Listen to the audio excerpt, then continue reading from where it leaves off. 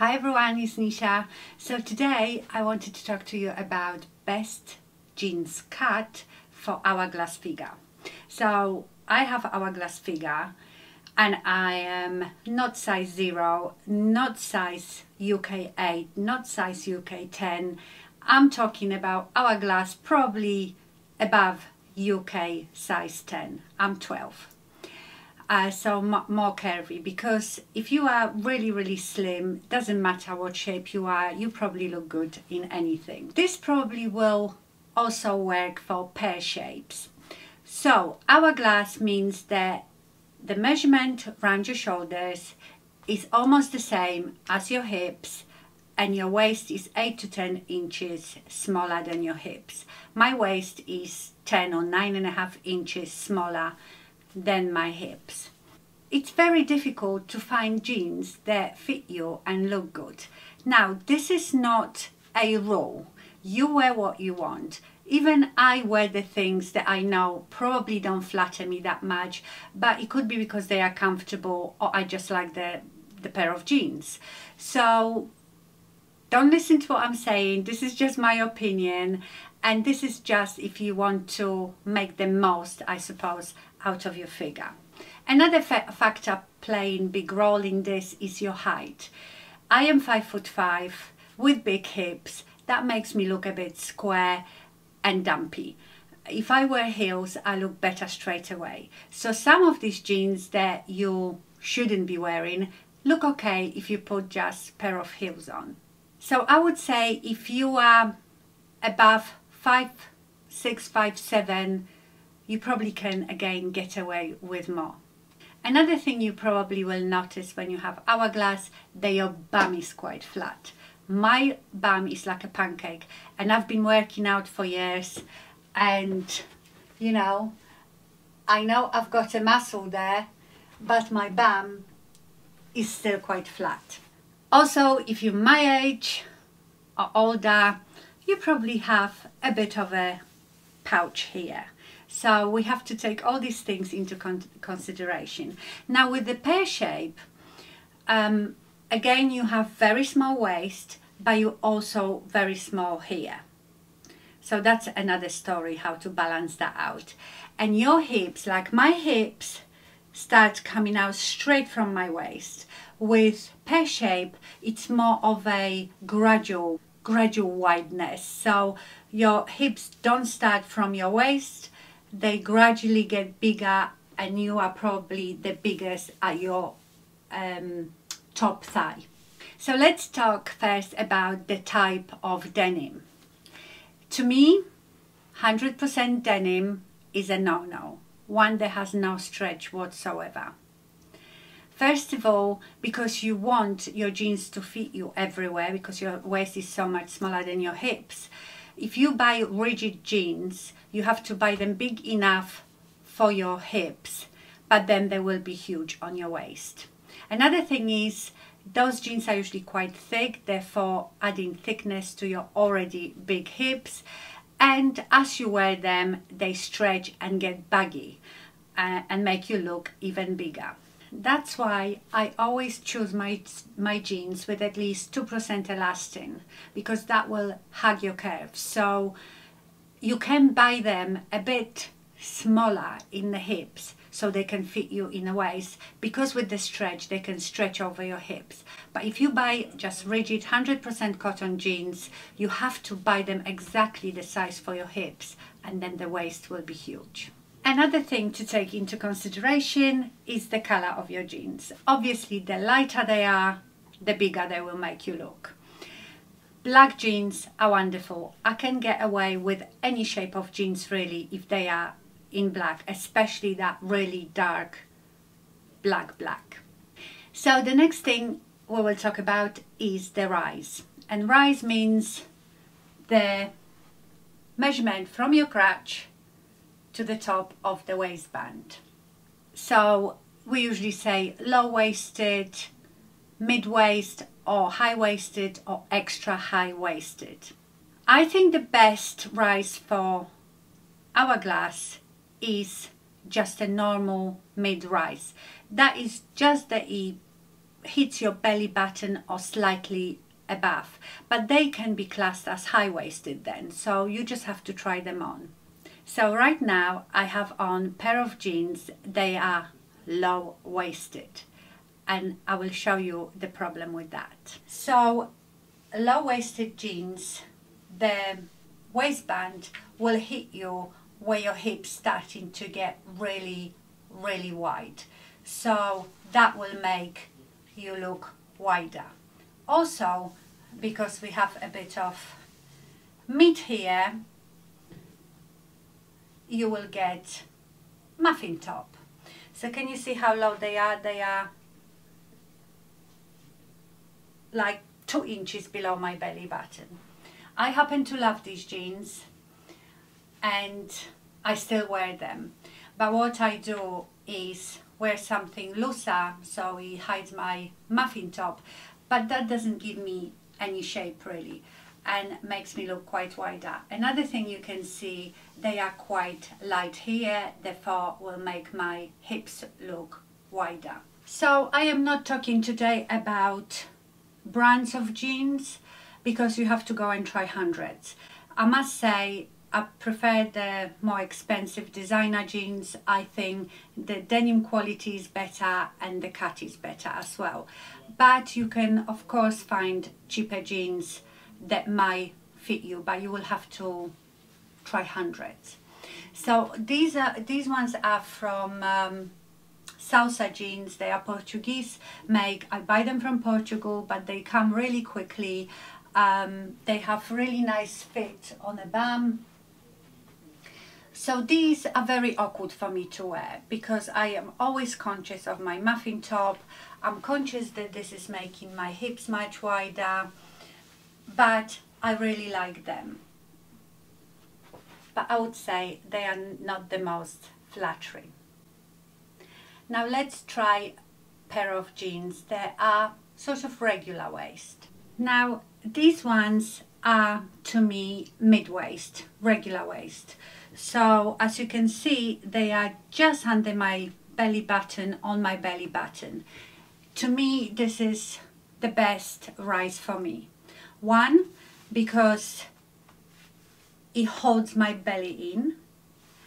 I don't really get much of a muffin top. And it doesn't cut me at the widest bit of my hips which starts about here. Whereas the other ones were here so that's where you saw the waistband and that's the solid color so that's all you see. So your hips look much wider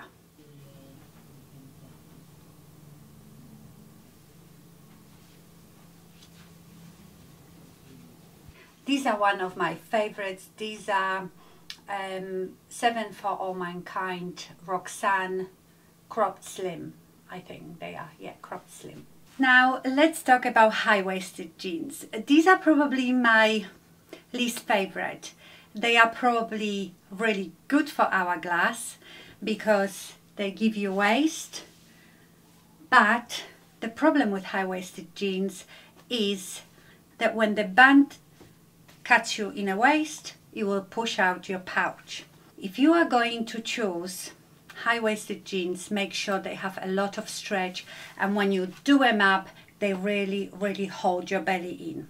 When I sit down, I still will get the pouch. And they are not very high-waisted. I would say they are, the band is not even an inch past my belly button, but they are considered high-waisted. I wouldn't go for very those extra high-waisted and don't even start me on mom jeans. We have talked about mom jeans on this channel. I think they're the worst, the most unflattering jeans in the world.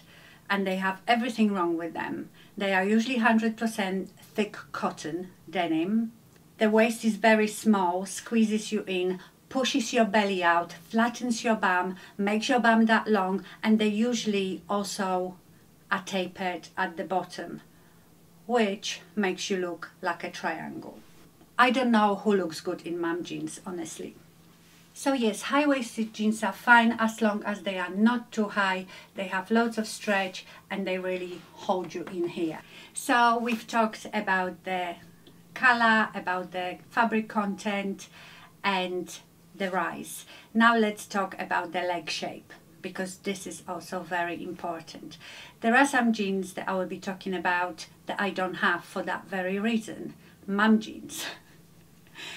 um, another pair i have a picture i will i sort of manipulated this picture because i got it from internet and the person was very slim but i gave this person bigger hips and these are the peg leg you know the ones that are tapered so you can see how unflattering they are on big hips they basically make you look like a upside down triangle there is nothing to balance your hips.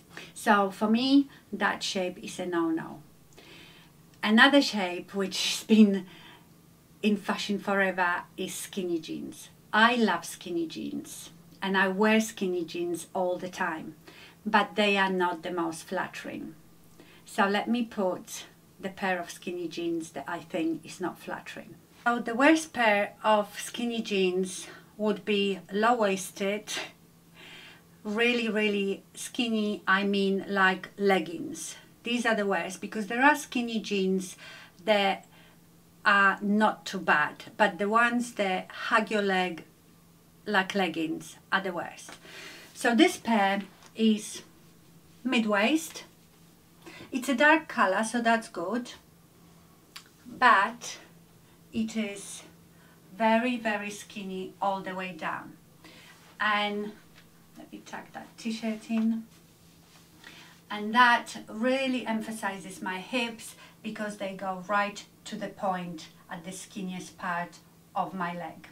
You can correct that a bit. You can turn up the jeans at the bottom so that will give it a bit of bulk therefore make it wider at the bottom to balance your hips so that looks a bit better Another thing you can do is put chunky shoes down the bottom. So skinny jeans look good with boots because the boot will give you bulkness and width at the bottom or trainers. So if I put trainers on, I'm adding a bit of bulkness to the bottom and that will balance a bit my hips. So you can see the difference of having them turned up with some pair of trainers, chunky boots and having them all the way down with just flat flip-flops. I think a very flattering shape is slim, slim jeans. So they're almost as like skinny, they hug you everywhere, but at the bottom of the ankle they don't hug your ankle. They go a bit more straight. And also I love it when they are cropped. Because if they are straight and go right down covering your ankle again there is no balance. You don't see any part of your body that is slimmer than the rest of you they sort of make you look quite straight but if they are a bit cropped and I'm not talking like mid calf. They just need to be, I don't know, inch, two inches uh, above your ankle. So have a look at these. You've already seen them.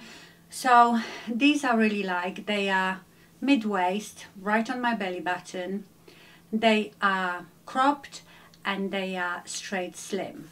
So can you see at the bottom um, they are a bit wider therefore they balance my hips but then you can see my slimmer ankle. So it's all balancing each, each other. But look what happens when I put heels on. They give me straight away much longer legs and make me look slimmer. That's why I think taller people can get away with much more now let's talk about bootcut jeans. They're supposed to be the most flattering for hourglass. I am not so convinced. Bootcut trousers, yes. But jeans is a bit different story. They have to be really, really specific shape of bootcut jeans. First of all, I would say if you are my height and my size, you need to wear them with high heels and have them quite long. Otherwise, they can still make you very square because your hips will be exactly the same um, size as the bottom and then you look really skinny sort of near your knees and you will be like an hourglass but in the wrong place just all down the bottom so if you are wearing bootcut jeans I would say especially if you are short if you are tall go for it but if you are short like me or shorter you need them long to the floor and you need heels that will really elongate you also, it's important when the boot cut starts. If it starts straight from the knee and goes really, really wide, this is a no-no. This will just emphasize your hips, I feel. Um, you just feel, well, the bottom of you looks exactly like here. I think the boot cut should be slim boot cut, which means that from your knee, very, very gently goes wider and not too wide, not like a bell bottoms. I don't have bootcut jeans because I don't feel I, I look good in them, only if I wear heels. And I don't want to wear heels all the time, especially with jeans. I have this pair, which was that exact bootcut. You might remember I bought it last year.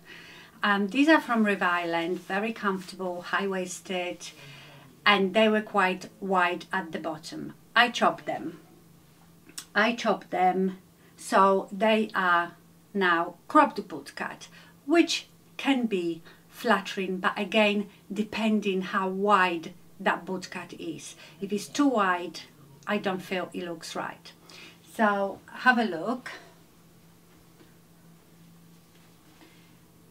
So these are cut off quite short. They are, I would say, three inches, four inches above my ankle. I don't feel this is flattering look. So you see my hips. I had to cut them that high because if I went a bit lower, they were even wider. And the mini bootcut crop trousers are fine for hourglass, but again, I feel you need heels, even small heels. So for example, these ones, I feel they look straight away better. And again these are quite light color as well so you will emphasize your bigger bits.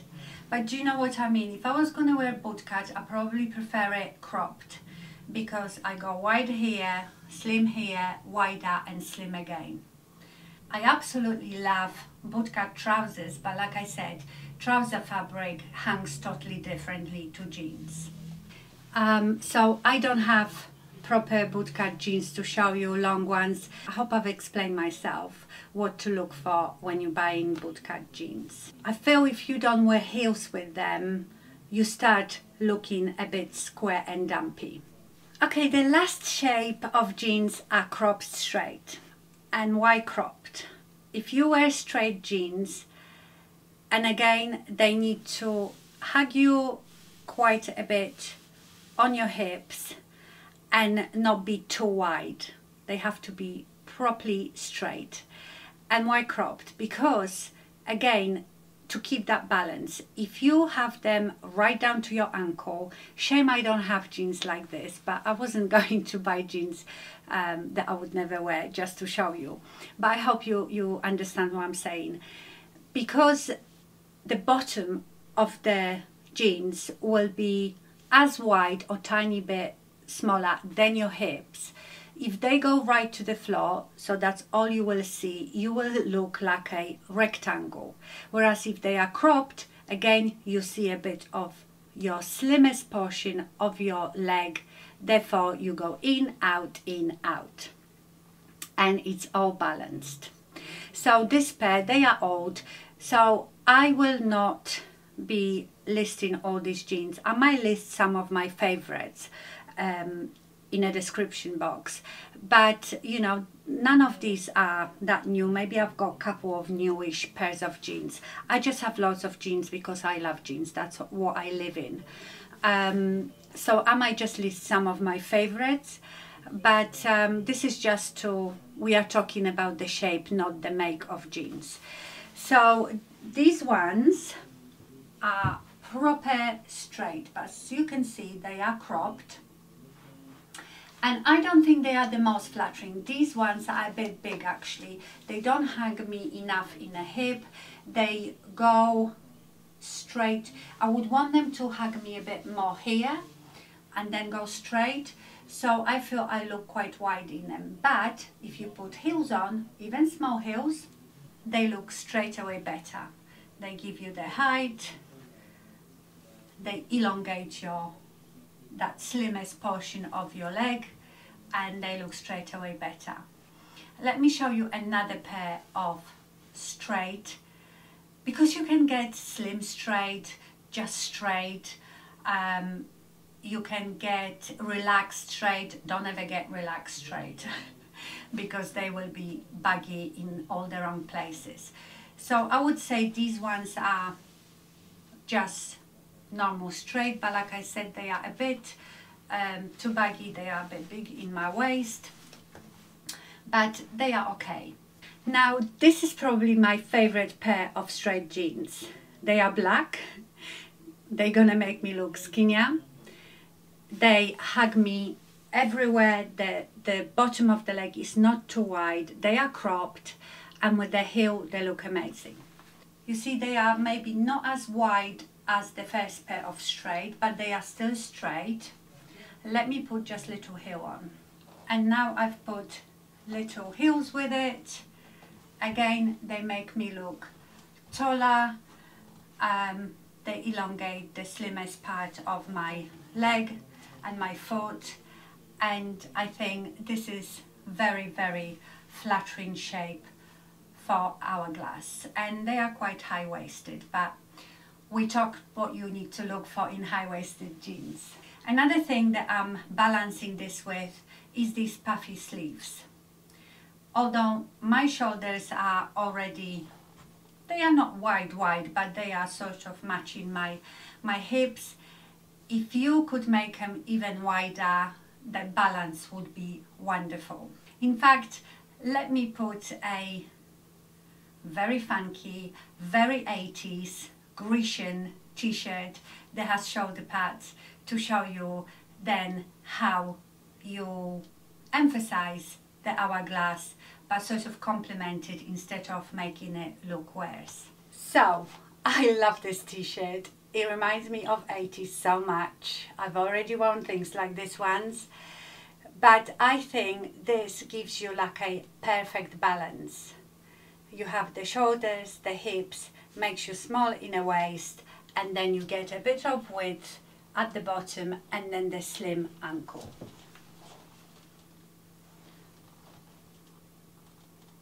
I think this is like perfect jean shape and you probably half of it is that you know the fact that they are black so straight away they will make you look slimmer.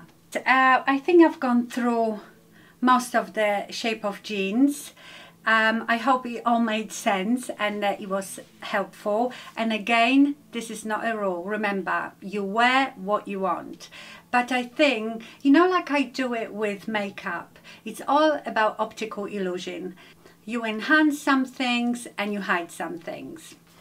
I hope you enjoyed it. Thank you so much for watching and stay fabulous. Bye.